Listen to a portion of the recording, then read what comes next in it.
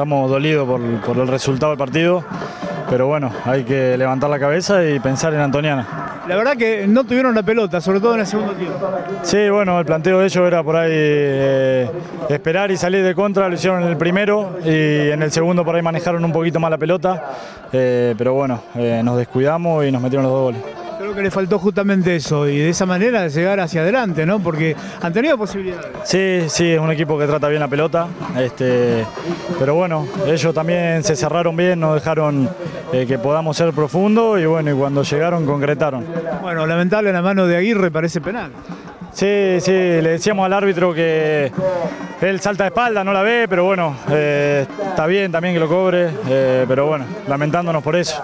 ¿Y el zapatazo realmente te, sorprendió? Sí, rebotó en un compañero, eh, rebotó en un compañero y me descolocó. Por el gol lo dejo en segundo plano porque la verdad lo, lo que buscábamos era el triunfo.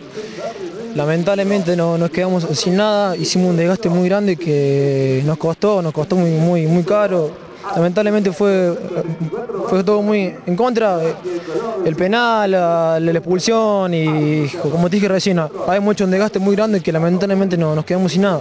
Eh, ¿Retiraste por una lesión, una contractura? Pues- No, no, no, una contractura, pero bueno, esto es normal.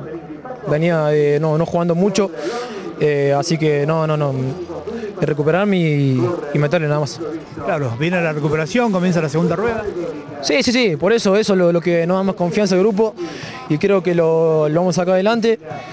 Arranca la, la segunda parte del torneo, donde creo que vamos a hacer las cosas bien y vamos a revertir esto. La verdad que no hay que perder punto, ¿no?